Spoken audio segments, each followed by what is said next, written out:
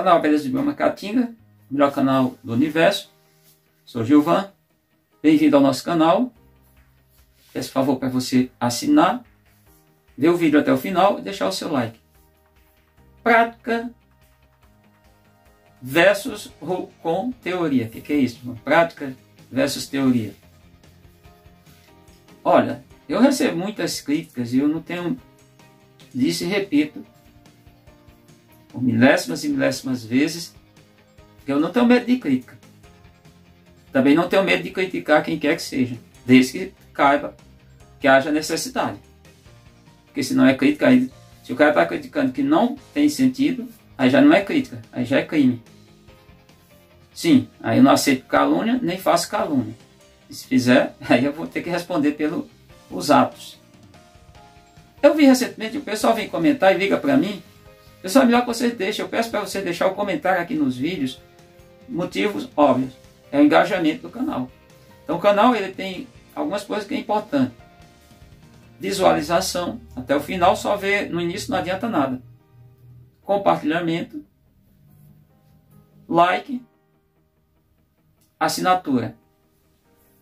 Isso é extremamente. Mas tem outra coisa também que faz parte do engajamento do canal, os logaritmos, logaritmos, essas coisas todas, a matemática, a estatística, é vocês comentar os vídeos, comentar abaixo.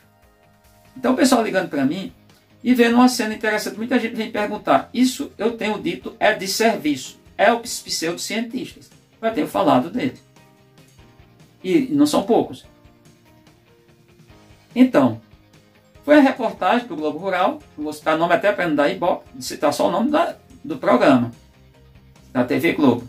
E vai aos domingos, ao ar domingo, exibido aos domingos de manhã.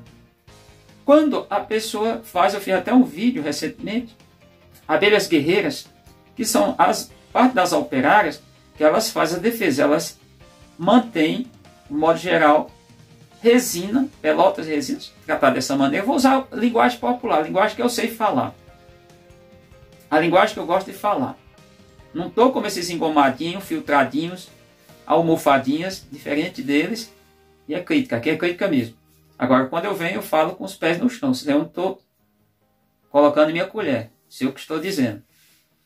Elas fazem essas pelotas de resina justamente para se prender ou prender as outras abelhas que possam fazer isso. Eu fiz o teste, mostrei para vocês, através de pegar duas abelhas, mostrei também uma abelha branca, mostrei só três abelhas. A abelha branca, que é do, do gênero Physiomelita, o munduri, que é a espécie Melita silva, também a mandaçaia, que é a Melita mandacaia. Essa que chama mandaçaia da caatinga, que é, isso, que é um protótipo, é um, um objeto, uma peça artesanal feita com o, o bicho. Então, ali eu estou mostrando, quando eu levo a mandaçaia, primeiro aquela mandaçaia caiu de uma caixa que eu tenho duas abelhas, dos mandaçaias, e as, até no piso, numa, ali no, no lajota, e as abelhas munduris chegando aos montes em cima para tirar. Elas não gostam, é algo estranho. Chega a aranha, elas também vão contra-atacar. Às vezes a aranha se dá melhor. Às vezes nessa luta a aranha leva melhor.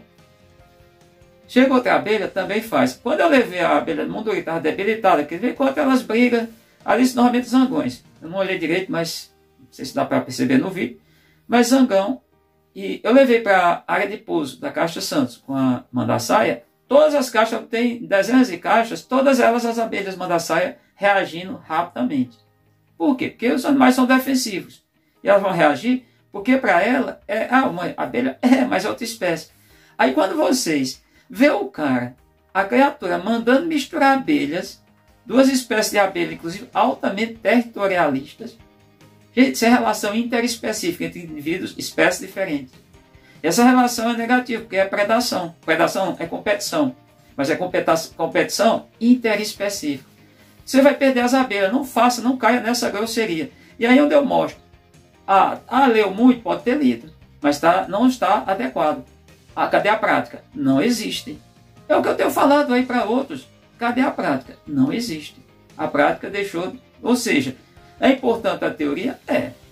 Não sei, considerado aí o maior educador pernambucano também, o Paulo Freire, maior teórico da educação, dos tempos modernos, tem muitos deles, Você vê é, Piaget, Desgosta, tem outros aí que eu não, eu não vou aqui ficar citando, mas o fato é que ele diz que não tem teoria sem prática, prática sem teoria. Parece que nesses casos aí que são observados, parece, não sei se é garantia, mas tudo indica.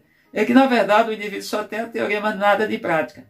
Ele não sabe nada de prática. Porque não faça isso. Agora, se você coloca, como eu tenho aqui, que também foi muita escrita no passado, diga, eu sei o que eu estou fazendo. Eu sei o que eu estou fazendo. Eu estou fazendo o que eu sei.